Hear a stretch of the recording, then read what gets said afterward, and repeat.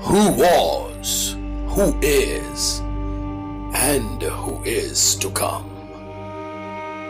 Sun TV. If the Son sets you free, you shall be free indeed.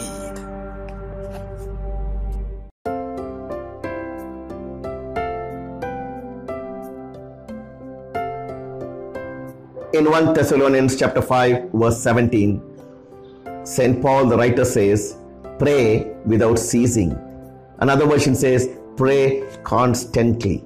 The question we want to ask today is, how to pray without ceasing? Can we pray without ceasing? Can we pray constantly? Dear brothers and sisters, there are three forms of prayer vocal prayer, meditation, contemplation. Can we pray without ceasing vocally? Can we pray without ceasing through meditation? Can we pray without ceasing through contemplation?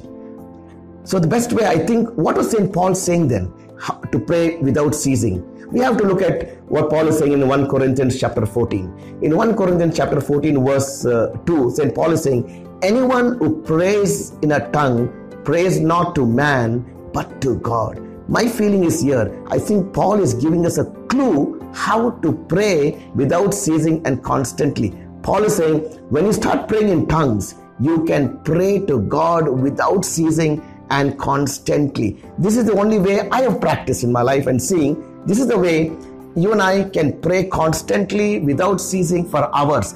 We can pray in the secret. we can pray uh, uh, secretly without making much noise. We can pray wherever we are. We can drive and pray. We can shop and pray. We can watch at television and pray.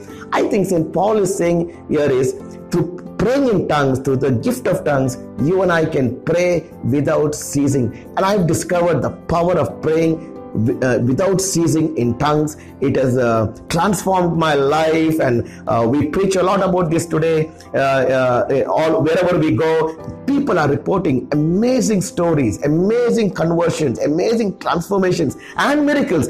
Because Paul is saying, when you pray in tongue, your spirit is praying, your mind is unfruitful. So wherever we are, I want to encourage you. If you have the gift of tongues, pray continuously start praying more. And if you do not have it then it is good for you to find out how you can receive it because you can live the christian life only full when you start praying in tongues and living a life in the holy spirit